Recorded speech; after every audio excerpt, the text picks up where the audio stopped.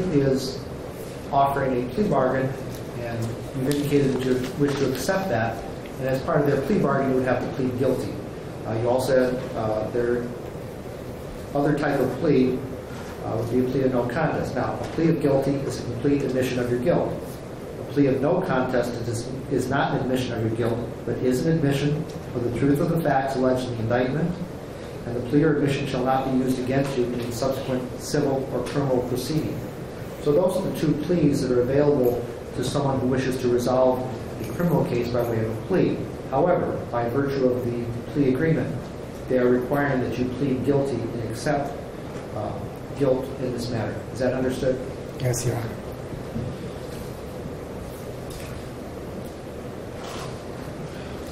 I will be giving you a a further instruction on this shortly, but uh, I did want to go over it since it's very important. I'm sure you've talked with your attorneys about this, but you understand that you have white, that you have, that you are waiving your right to a jury trial by entering a plea, that you're waiving your right to confront witnesses against you, that you're waiving the right to compulsory process for obtaining witnesses in your favor, that you're waiving uh, well, that you're waiving the right to require the state to prove your guilt beyond reasonable doubt at a trial, and you understand that you cannot be compelled to testify against yourself. Do you understand you're giving up all those specific rights by entering a plea? I do, Your Honor. And I will talk with you about those further.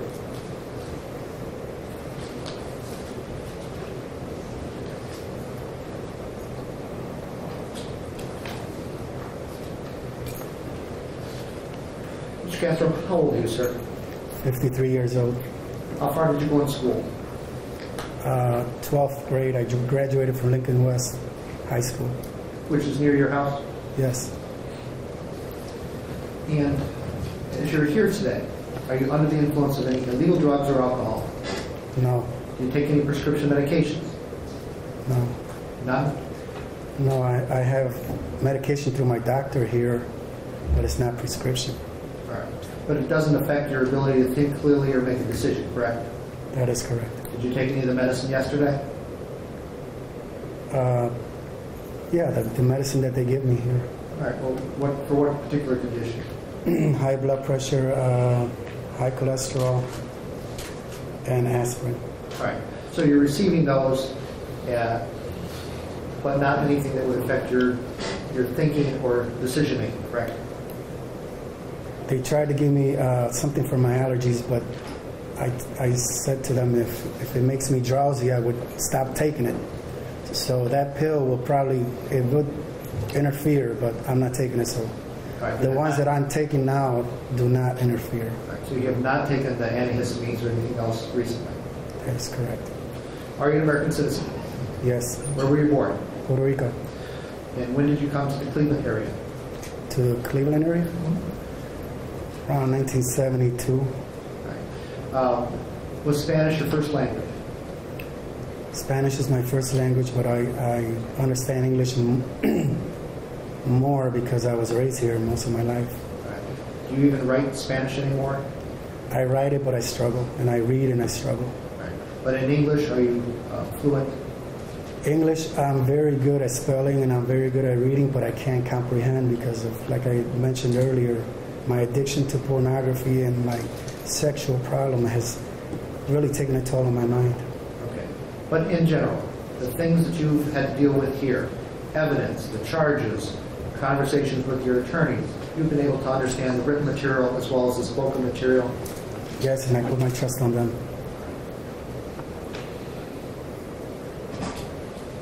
And you still have family in the area, is that correct? That is correct. Are you currently on probation, parole, or post-release control? Are you on supervision with any court or jurisdiction? No. I want to talk with you now about the uh, plea agreement and some of the specifics.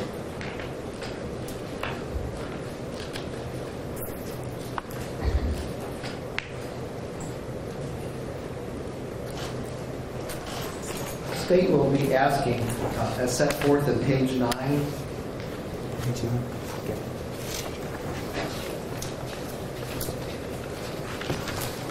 for the court to dismiss a a significant number of counts, and those would deal with an issue, a legal issue of merger. So they're going to ask me to dismiss those ultimately today after you've entered a plea. Are you aware of that? The, uh, how many are there? 30, uh, 40? Yes, I am. So 40 counts will be dismissed, and they anticipate you'll plead guilty to the remaining 937. Is that clear? That is correct. I really, I don't necessarily, don't necessarily uh, agree on 9, 937, but if- yeah, I understand. I'll tell you that's somewhat common in any plea negotiation in a criminal case or even a civil case. Uh, Usually neither side is perfectly happy, okay? Okay, But you're reaching this agreement of your own free will, is that correct? that is correct. And upon, in in conjunction with the advice of counsel? Yes, So you'll be pleading to the uh, 937 counts. You're agreeing also to execute all necessary documents and to perform all acts necessary to transfer right, title, and interest in your real property at 2207 Seymour Avenue in Cleveland. And that will be transferred, I believe, to the uh, county to go to the land bank, is that correct? It is. Yes, sir. So you're agreeing to sign documents to turn your house over to the county land bank, is that understood? I understand, yes. You're also agreeing to abide by the terms of a stipulated protective order. Is that understood? Yes, And you're agreeing not to seek profit from the commission of these offenses, and that was uh, in compliance with this agreement and as disclosed for any items under the proffer agreement. In other words, you will not be permitted to profit from anything, any aspect of this case. Is that clear? yes, it is. You understand that as part of the plea agreement, you'll also be forfeiting items of uh, personal or real property and such to the state, and they're set forth uh, in this agreement. Said I get back?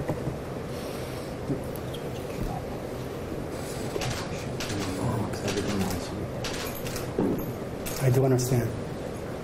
In particular, there is $22,268.83 of U.S. currency that will be forfeited. Again, the uh, right, title, and interest you have in your real property. Uh, You will be receiving back, your family will receive back on your behalf, family photo albums and clothing. Is that understood, that you're getting something back from this? Yes, it is, but uh, the currency does not sound right. I know there was more money than that in there. I don't I know know what the inventory there's- was, that's the amount of... I'm just, I'm just mentioning that there was more money than twenty-two thousand dollars. All right, Mr. McGinty, I'm sure you'll follow up on that. Judge, we're going to tear down the house and we're going to look closely at everything that falls. If there's more, we plan to keep it. Thank you. And in fact, there will be a demolition of the house. That's correct. Very soon. And, Mr. Castro, you understand that this is a recommended sentence to the court. If I were determined to accept it, then it would be imposed after sentencing hearing. If I were determined not to accept it, then the parties would be back at their original position, which would be this matter is set for trial on August 5th. Is that clear? Yes, it is, Your Honor. And you're agreeing as part of this uh, settlement agreement that if the court does accept the recommendation, that you're going to receive the sentence that is set forth in this uh, plea agreement. Is that clear? Yes, it is, Your Which is life without parole plus a minimum of 1,000 years. Is that clear? Yes, Your Honor.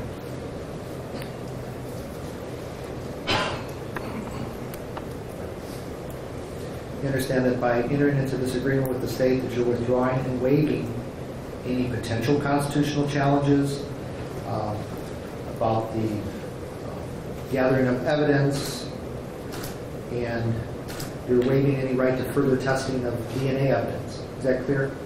Yes, it is clear. And again, the basis, as stated a few paragraphs before this, was that the state is uh, giving up their right to seek the death penalty. Is that clear? That's what they're giving up in order to reach this bargain with you, and you're having to give up things too. That's correct.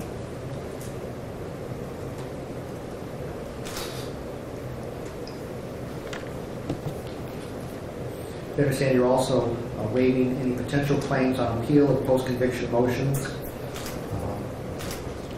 And you're agreeing that, to your knowledge, your attorneys have done everything uh, that you've requested to- them to do, and that you're not making any claim that the state is engaged in prosecutorial misconduct. Is that understood? Yes, it's understood.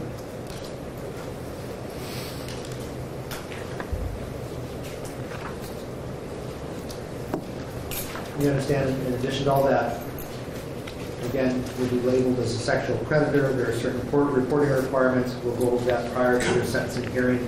You'll receive the form, they'll be signed, and they'll have it to take with you. Is that clear? Yes, Your Honor. Is there anything about the topics that I just discussed with you that is unclear? Any questions you have for the court?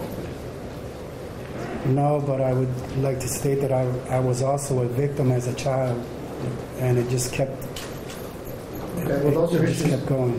That's certainly something that you can bring up at your sentencing hearing, because. At your sentencing hearing, uh, you have the opportunity to speak. Uh, Your attorneys have the opportunity to speak on your behalf. Other family members or or persons could speak for you. And then the state has a right uh, to speak, and as, and the victims will be notified about the uh, sentencing, and they have the right to speak if they wish. Okay, so at that hearing, uh, which I believe will go forward on August 1st, uh, you do have uh, absolute, absolute right to allocute and to uh, to talk about any information you feel is relevant to sentencing. Okay? I do understand, and I spoke to my lawyers about that. They explained that to me. Okay, thank you. Thank you.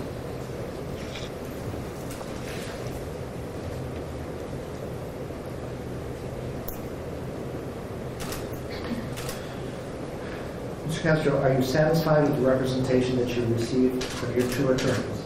Yes, I am. Is there anything that they have failed to do that you've asked them to do? Um, well, like I mentioned earlier, I uh, haven't received all my uh, information on the inventory, but um, they assure me that I will get that. Okay.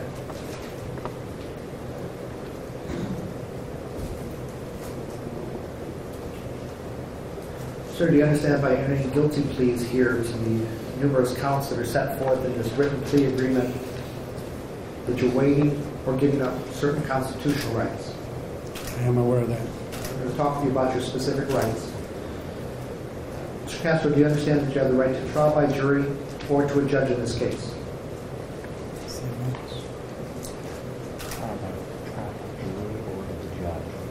Can you please uh, ask that again? Yes.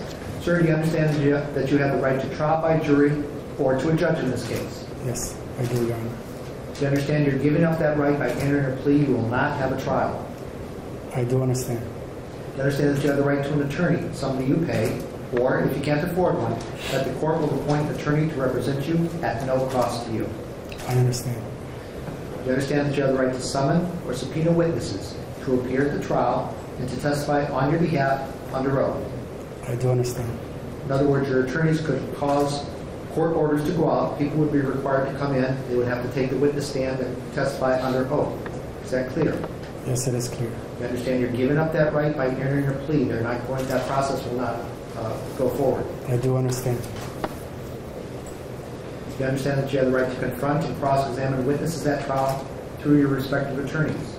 Yes, I do, Your Honor. Again, when witnesses came in, they would have the chance to question them, to challenge them as to their accuracy, their bias, uh, their memory, uh, all types of things.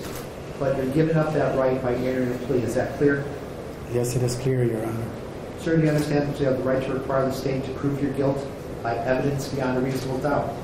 Can you please, uh, Sure.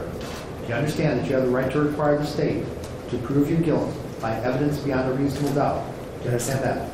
Yes, In other words, at a trial, they would have to prove each count by evidence beyond a reasonable doubt, each and every element of each count. And Each count would be considered by a trier of fact separately. And they have to meet that burden of proof on each and every count of the indictment, each and every element and each and every specification. You understand you're uh, relieving them of that burden by entering a guilty plea. Yes, I do, Your Honor. Finally, do you understand that you have the right to remain silent and not testify, and no one could comment on the fact that you did not testify at trial? Would you repeat it, please?